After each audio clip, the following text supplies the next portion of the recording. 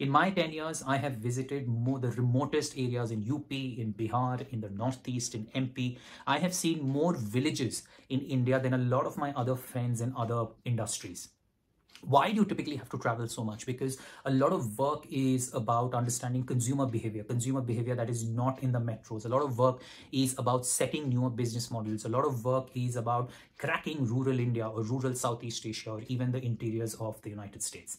So the myth that you will work only out of the corporate office is uh, actually not correct